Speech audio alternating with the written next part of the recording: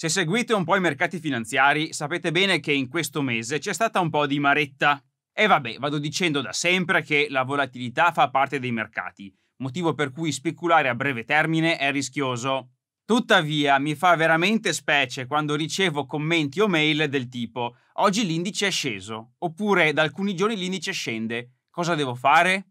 Sono domande a cui non riesco a rispondere perché alla domanda oggi l'indice è sceso cosa devo fare, a me viene da dire oggi ha piovuto cosa devo fare. Quello che voglio dire è che la domanda è sbagliata. Il punto non è oggi l'indice è sceso cosa devo fare. Il punto è, ha senso che voi sappiate ogni giorno che cosa fa l'indice? In questo video facciamo un po' di chiarezza su una cosa che sembra facile ma so che non lo è, e cioè quanto spesso guardare il proprio portafoglio. Se vi piace il video mettete mi piace, iscrivetevi al canale. Io sono Alessandro Lazzaro e vi parlo di economia e finanza in modo chiaro, semplice e completo. Cominciamo subito da ciò che si dice sempre di non fare, ma che in tanti fanno, guardare il portafoglio ogni giorno.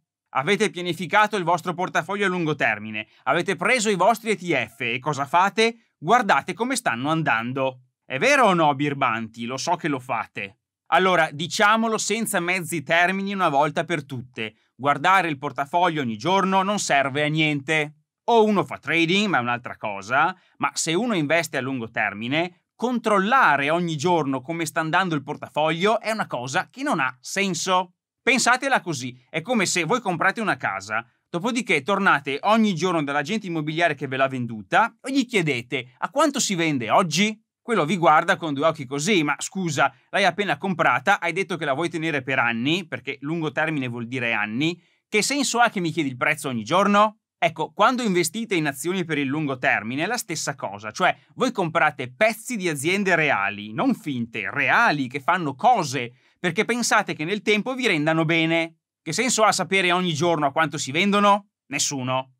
Secondo tempismo decisamente sbagliato, guardare il portafoglio ogni settimana. Vi do un trucco per farvi capire quanto sia ridicolo. Aprite un giornale finanziario il venerdì e troverete sempre uno o più articoli sulla settimana dei mercati. Leggete il nome del giornalista e immaginatevi questo povero Cristo al venerdì pomeriggio che vuole andare a casa e che con poca fatica mette su un articolo su quello che è successo in borsa e fila a casa.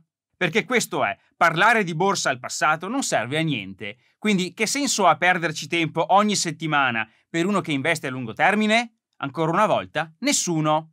Terzo tempismo, guardare il portafoglio una volta al mese. Il bello di guardare una volta al mese è che sembra come che si possano già capire dei trend nei mercati e quindi escono degli articoli del tipo questa strategia ha funzionato questo mese, questa strategia che funzionava da 50 anni adesso non funziona più perché questo mese è andata male. Io vi dico questo, se voi andate su immobiliare.it o altri siti di annunci immobiliari, ogni mese viene pubblicato l'andamento del prezzo degli immobili per una certa città, sia vendita che affitto. Domanda, se siete proprietari di immobili, siete mai andati a controllare questi valori? Magari sono scesi questo mese e vi conviene vendere casa prima che crolli tutto. Ma per favore. Il quarto tempismo è sicuramente il più amato dagli intermediari finanziari e da tutti quelli che girano intorno alle aziende quotate. Guardare il portafoglio ogni tre mesi.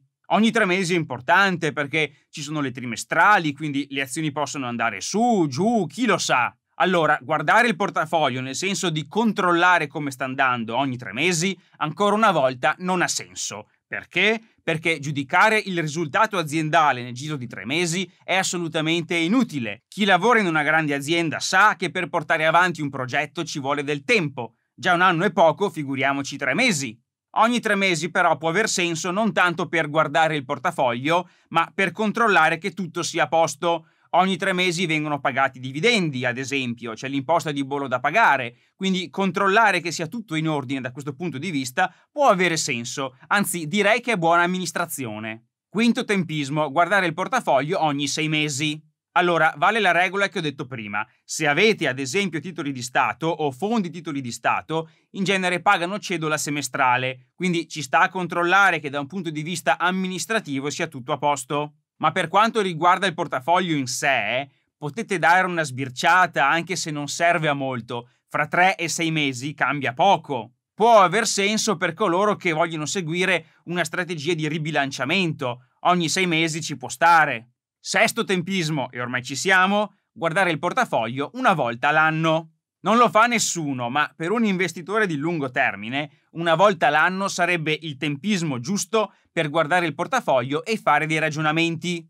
Il bello di approcciare il portafoglio una volta l'anno è che approcciate il portafoglio come proprietari. È come se andaste all'assemblea degli azionisti del vostro fondo di investimento e vedete tutto in un altro modo. Ad esempio, una cosa bellissima secondo me è che andate a guardare il portafoglio sapendo già in un certo senso cosa trovate. Ad esempio, al 31 dicembre 2021 era chiaro che c'erano dei numeri bellissimi, non c'era bisogno che me lo dicesse il mercato. Così come al 31 dicembre 2020 gli investimenti europei erano così così e gli investimenti immobiliari pure. Non guardate il portafoglio passivamente, facendovi dire dal mercato se va bene o va male, ma fatevi già un'idea e la confermate andando a vedere il portafoglio. In questo modo vi aiutate anche a fare delle stime sul futuro. Quando ho visto i numeri del 2021 ho pensato, cavolo, sarà dura fare gli stessi numeri l'anno prossimo, probabilmente faremo sotto la media nel 2022. Fate dei ragionamenti e magari ribilanciate.